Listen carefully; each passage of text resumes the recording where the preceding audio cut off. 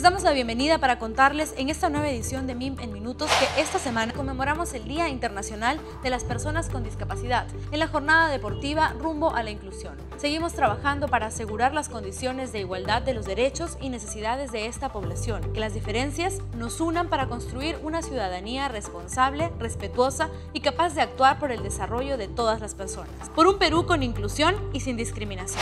Sumamos esfuerzos con los gobiernos locales, regionales y la Policía Nacional para trabajar en la prevención. Llegamos a Arequipa y unimos nuestras fuerzas con el Ministerio del Interior para implementar nuevos centros emergencia mujer comisaría en Pampa de Camarones y El Porvenir. Profesionales del área legal, psicológica y social están preparados para atender y velar por los derechos de las mujeres víctimas de maltrato.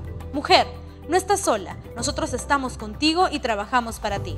En esta misma región inauguramos el Centro de Acogida Residencial Casa Isabel para albergar a niñas y niños de 0 a 10 años con discapacidad, así como también en Madre de Dios ya contamos con los centros de acogida residencial Virgen de Lourdes, Virgen de Guadalupe y Virgen Peregrina.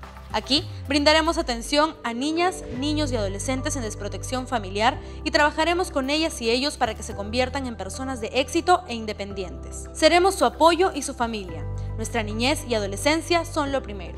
La ministra Gloria Montenegro inauguró el foro Prensa y Mujer, qué contar y cómo contarlo. Esta es la responsabilidad que debe tener cada medio para informar a la ciudadanía. Este encuentro tuvo como objetivo valorar y debatir las transformaciones institucionales y editoriales que empresas y medios de comunicación deben asumir para impulsar la igualdad de género. Gracias a la agencia EFE, la Unión Europea, el Programa de las Naciones Unidas para el Desarrollo, el Grupo Conecta y la Municipalidad de Miraflores que contribuyen en esta lucha. Esta es una buena noticia para el desarrollo de nuestro país. La secretaria general del MIM, Silvia Ruiz, firmó el convenio de gestión para el desarrollo de funciones con los gobiernos regionales de Apurímac, Moquegua, Ayacucho y Ucayali. Así, podremos reducir brechas en beneficio de las poblaciones más vulnerables. Gestión descentralizada con enfoque territorial. Junto al presidente de la República participamos del evento navideño Mundo de Ilusiones en Palacio de Gobierno, con la presencia de más de 3.000 niñas, niños y adolescentes de sectores vulnerables. Ellas y ellos disfrutaron de un viaje imaginario por culturas y tradiciones de diversas partes del mundo.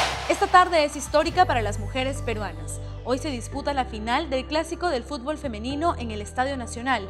Este evento es muy importante porque significa un paso más en nuestro camino hacia la igualdad de género. Esta y otras noticias las puedes encontrar en nuestras redes sociales del Ministerio de la Mujer Poblaciones Vulnerables. Somos libres, seámoslo sin violencia.